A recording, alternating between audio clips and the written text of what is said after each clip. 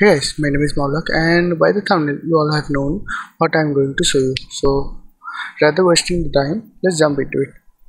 What happens when we are trying to open one file or multiple files? This my friend. This floating windows pop up. Rather sitting like on this, the windows pop up like this. So if we try to open multiple files like this, control A for selecting all and open what happens. This occurs. And and it is so hard to arrange each and every part like this.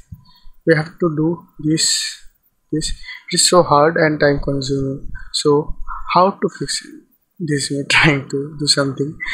How to fix this? So let's cut all the things um, go to edit go to preference interface. You'll find uh, this is open document as tab. Click this okay.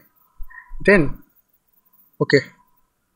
Now you are you are all set.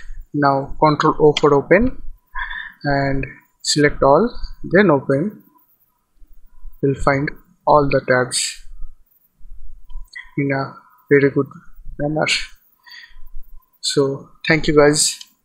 This is a very quick tutorial. I hope you like this and this i recorded because this is the most frustrating thing.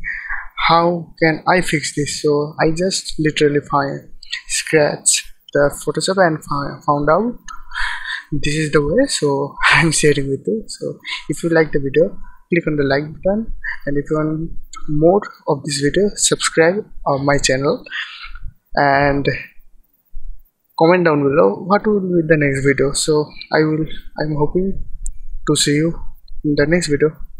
Bye